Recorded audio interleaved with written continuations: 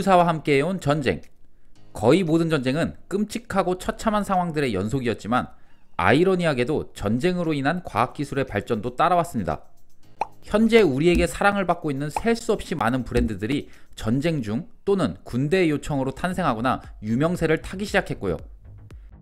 이번 영상은 전쟁을 통하거나 군대의 필요에 의해 브랜드 가치를 더욱 높이고 성장한 식품업체를 알아보겠습니다.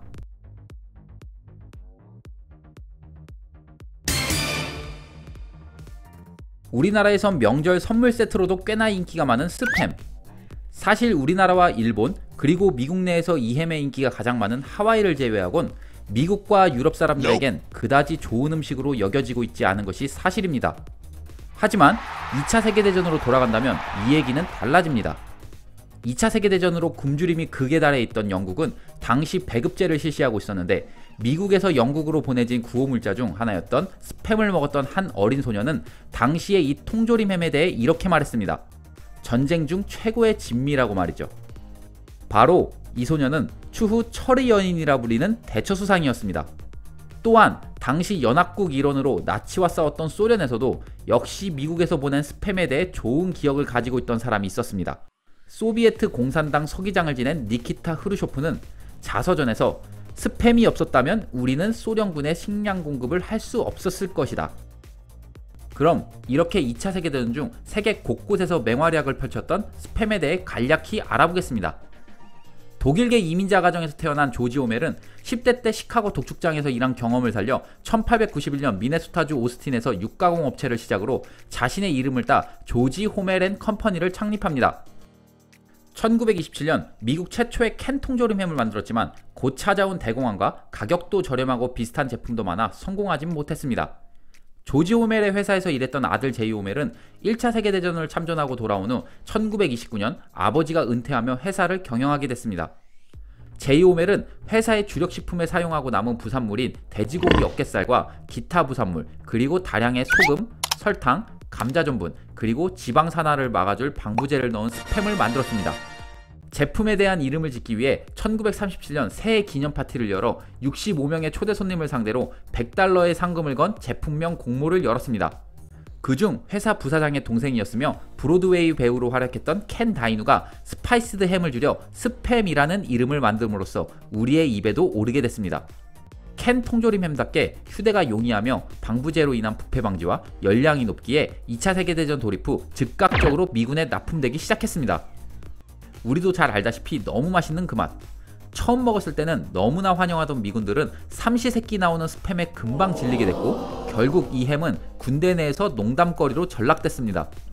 심지어 연합군 총사령관이자 34대 미국 대통령을 역임한 드와이트 하이제나워는 전쟁이 끝난 후 은퇴한 회사 대표에게 스팸에 대해 편지를 직접 보내기도 했습니다. 나도 전쟁 중 수백만 장병들과 함께 스팸을 먹었습니다.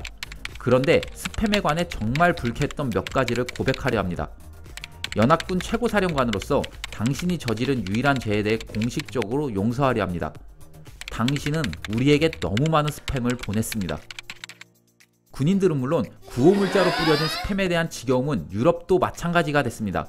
1970년대 영국의 코미디 단막극 몬티 파이튼 스케치 한 장면에서 거의 모든 breakfast 메뉴에 스팸이 적혀 있는 것을 본 배우들이 스팸 song을 부르며 비꼬는 장면이 나오기도 합니다. 이처럼 스팸은 원치 않은 것이 잔뜩 들어있는 것을 의미하는 것으로 쓰이며 현재는 우리가 원하지 않지만 항상 찾아오는 전자메일을 일컬어 스팸 메일이라고까지 불려지게 됐습니다. 아무리 맛있는 것이라도 무엇이든 많이 먹으면 질리는 법이죠. 가끔씩 그리고 적당히 먹으면 꿀맛인 스팸은 전쟁에서 군인들과 시민들을 버틸 수 있게 만들었던 식품임에는 틀림없습니다.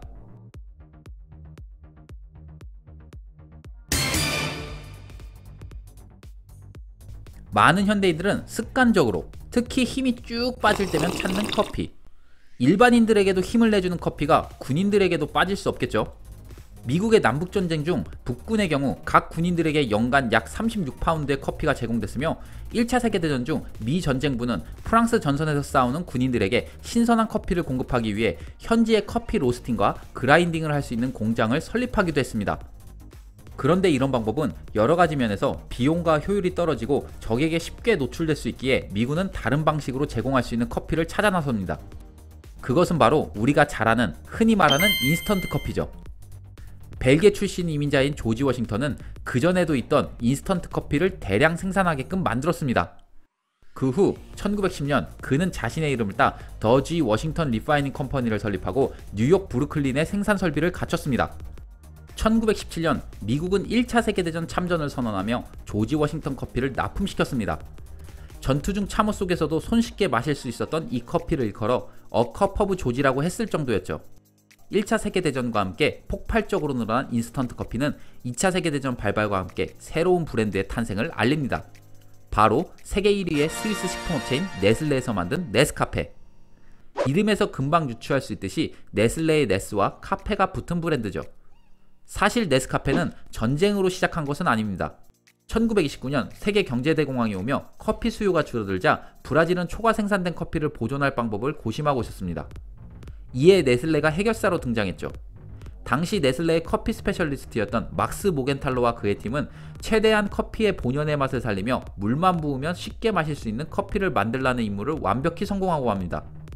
1938년 4월 1일 스위스에서 판매를 시작한 네스카페에 엄청난 기회가 찾아오게 됩니다. 바로 2차 세계대전이 발발한 것이지요. 1차 세계대전 중 인스턴트 커피가 군의 사기에 얼마나 큰 영향을 끼쳤는지 너무 잘 아는 미군은 여러 브랜드 중 네스카페를 전투식량 품목으로 채택시킵니다.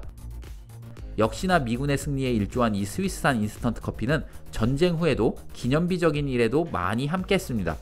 1953년 세계 최고봉인 에베레스트를 세계 최초로 등정한 에드먼드 힐러리 경 팀과 함께했으며 1969년 인류 최초 달 탐사에 성공한 닐 암스트롱의 아폴로 11호와 함께 우주여행을 한 네스카페죠. 어디서나 너무 쉽게 만날 수 있는 네스카페. 확실한 건 class가 다른 브랜드입니다.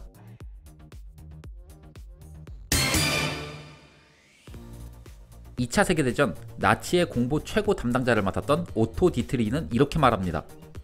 미국은 추인검과 코카콜라 빼고는 이 세상에 기여한 게 단 하나도 없다. 선전선동에 강했던 나치도 인정할 수밖에 없었던 코카콜라. 일본의 진주만 공습을 시작으로 태평양과 유럽 전선까지 참전한 미군. 아이젠하워 장군은 군인들의 사기 증진을 위해 코카콜라가 큰 힘을 발휘한다는 것을 알고 있어 당시 북아프리카 전선에 있던 그는 1943년 6월 29일 코카콜라 본사가 있는 애틀랜타에 전보를 보내 10개의 이동 가능한 공장과 월 600만 개의 코카콜라 공급을 요청했습니다. 이에 대해 당시 사장이었던 로버트 우드러프는 단돈 5센트로 군복을 입은 이들이 어디든지 회사가 얼마나 돈이 들던지 코카콜라를 마실 수 있기를 바란다고 말하며 혼신의 힘을 쓸 것을 약속했습니다. 코카콜라는 아이젠하워가 있는 북아프리카 전선 알제리에서도 알제의 담당자를 보내 장군이 요구했던 10개를 넘어 전쟁이 끝날 때까지 총 64개를 만들었습니다. 이에 대한 공적으로 미 육군은 이를 수행했던 코카콜라 담당자 148명에게 공식적인 직급인 Technical Observers를 부여했습니다. 코카콜라는 태평양, 유럽, 그리고 북아프리카 전선 곳곳에서 활약하며 결과적으로 전 세계에서 저절로 홍보하는 계기를 만들었으며 현재 공식적으로 단 두 곳, 북한과 쿠바만이 공식 유통 채널이 없는 곳을 빼고는 어느 곳에서나 즐길 수 있게 됐습니다. 지금까지 봤던 브랜드 말고도 전쟁과 함께 성장해온 식품업체들이 매우 많습니다. 다음 영상에선 또 다른 브랜드들로 찾아오겠습니다. 감사합니다.